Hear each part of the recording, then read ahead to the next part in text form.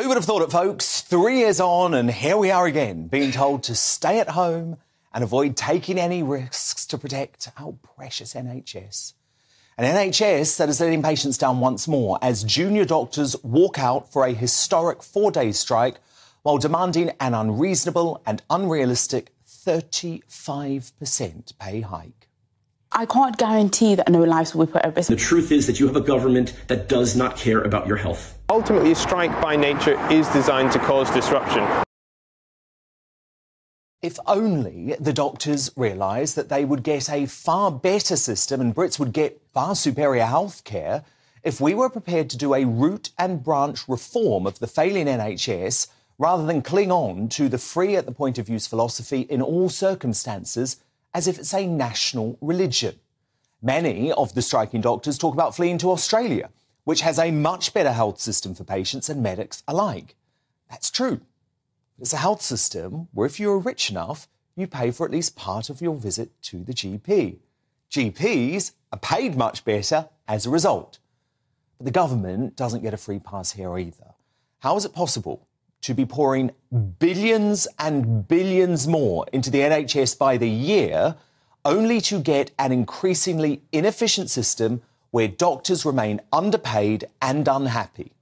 That said, the Health Secretary, Steve Barclay, is right not to be held to ransom, given the unhinged demands and revolting threats to our lives thanks to decisions made by the Marxist BMA Health Union to time this strike immediately after the Easter holiday for ultimate carnage and maximum damage.